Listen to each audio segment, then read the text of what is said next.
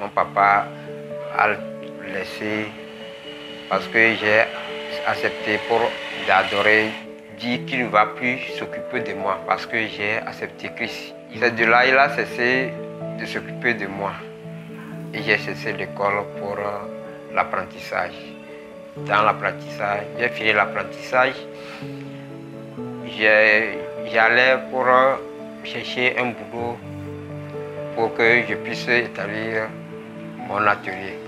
Mais c'est de là que j'ai fait un accident. On a amputé les deux pieds. Je suis resté à la maison pendant deux ans.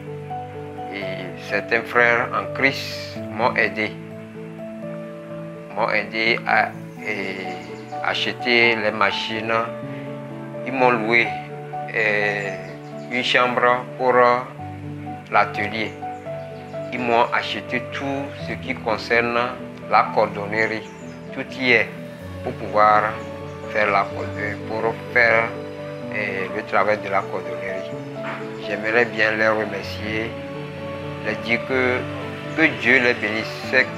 Mais je remercie le bon Dieu en Christ, les frères qui m'ont aidé. Je demande que, que Dieu les bénisse abondamment. Que Dieu les aide dans tous leurs travaux.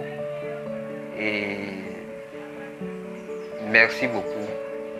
Merci beaucoup.